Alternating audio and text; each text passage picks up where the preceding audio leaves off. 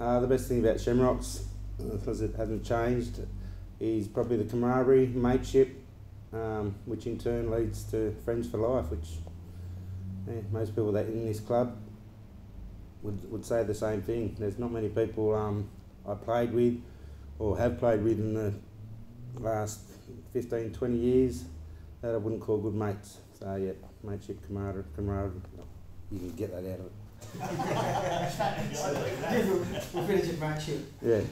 Uh, my best experience would have to be having the privilege of captaining the 2007 undefeated Premiership first grade team. Um, again, I spoke about mateships and stuff like that. The guys I played in that team with will be mates for life. So, yeah, that was my best time.